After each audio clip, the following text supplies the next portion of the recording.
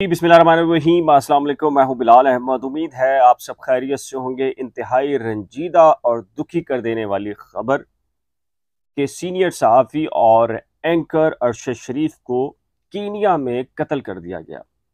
आखिर अरशद शरीफ के कातिल कौन हैं? कौन है जिन्होंने अरशद शरीफ को टारगेट करके कत्ल किया और एक क्राइम सीन डिज़ाइन किया? इनके मकासद क्या थे? इस पर मुख्तलिफ़ किस्म की थ्योरीज चल रही हैं और फिर कीनियन पुलिस की जानब से इस पर पूरी वजाहत भी आ गई है। लेकिन क्या कीनिया की जो पुलिस है, कीनियन पुलिस है, उनके मौक़ को तस्लीम कर लेना चाहिए कि यह हादसा था? या फिर ज़ाहिर है कि आपके इल्म में है कि दुनिया में ऐसे वाक़ात होते हैं जिन्हें हादसों की शक्ल दी जाती है, लेकिन प्रैक्टिकली वो एक पूरे के पूरे मंसूबे के तहत एक मर्डर का मंसूबा तरतीब दिया होता है।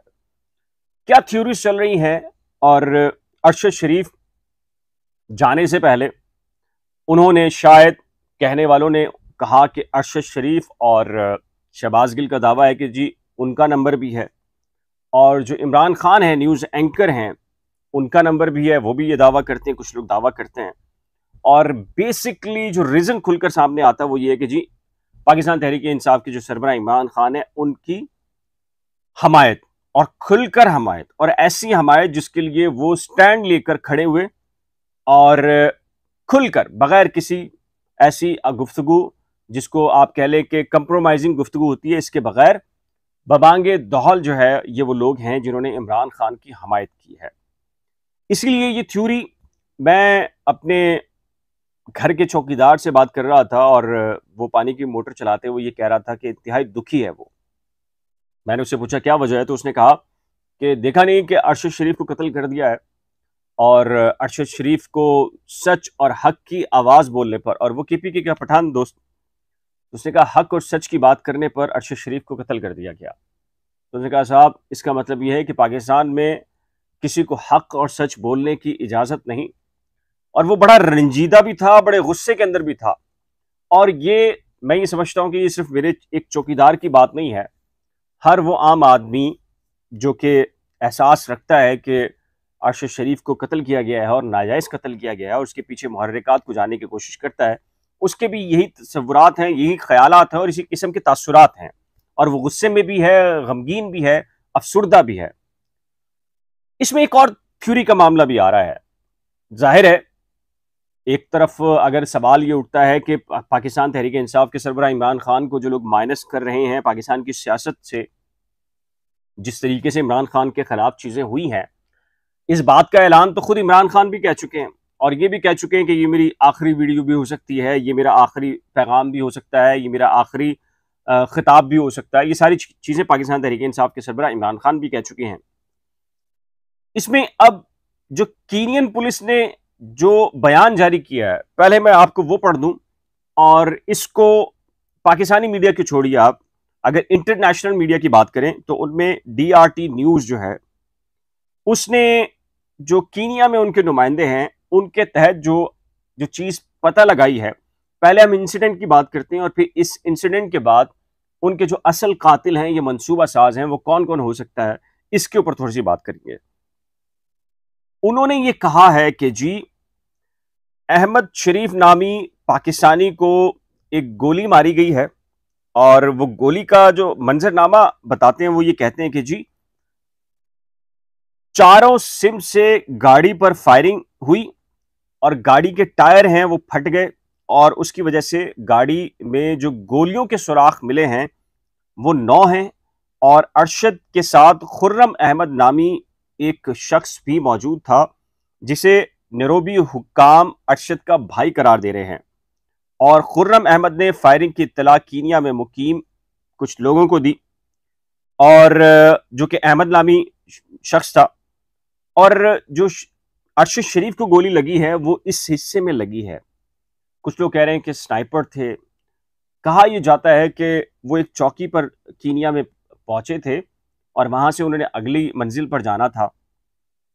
पुलिस, कीनियन पुलिस का ये दावा है कि उनके पास इतला थी कि यहाँ से कोई बच्चे की किडनैपिंग का इशू है और इसलिए उन्होंने चौकी पर नाकाबंदी लगा रखी थी। और जो ड्राइविंग कर रहा था अरशद शरीफ की गाड़ी को, उनके बारे में कीनियन पुलिस को शक था या शुबा था कि ये भी हो सकता है। और उन्होंने, कीनियन पुलिस ने उनको रोकने की कोशिश की अरशद शरीफ के ड्राइवर और उनकी गाड़ी को। लेकिन जो ड्राइवर था, उसने रुकने के बजाय अपनी निशानदेही और चेकिंग करवाने के बजाय स्पीड से भाग गया। और उसके बाद जो है, वो कहा यह जाता है कि जी, बाकायदा वहाँ फायरिंग का तबादला हुआ। तबादला तो नहीं मीन्स के जो कीनियन पुलिस है, उसी की जानब से फायर किए गए और वो फायर चारों तरफ़ से किए गए और अरशद शरीफ की बिल्कुल कनपट्टी भी नहीं, बल्कि इससे थोड़े से ऊपर का हिस्सा है, वहाँ पर एक बुलेट लेकिन जिस तरीके से तस्वीर उनकी आई है उससे लगता नहीं है कि कोई छोटी गोली है। मतलब छोटी सी कोई पिस्टल से गोली है, ये आप कह सकते हैं जी, खुदकार हथियार टाइप की चीज़ें, ये क्लाशनकोफ या उससे बड़ा कोई जो आप समझते हैं कि जो गन यूज़ होती हैं, उस तरह की बुलेट है, बहुत हैवी बुलेट, जिसने उनके पूरे भेजे को यहाँ से उड़ा दिया है।